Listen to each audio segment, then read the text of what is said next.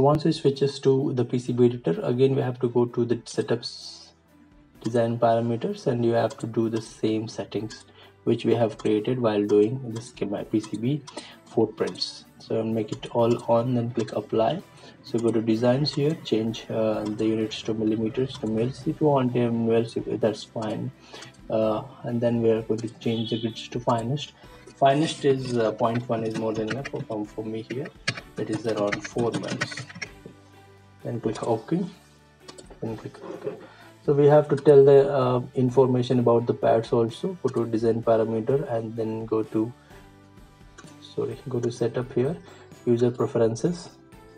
So here the pad path we have to mention here because uh, the footprint uh, the psm path is also the same thing.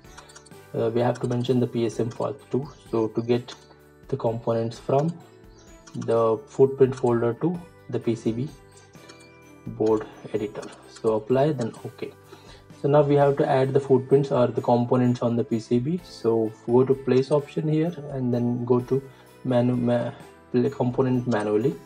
When you click on the component manually so there are the list of components are appearing here. If i want to register click here and then bring it inside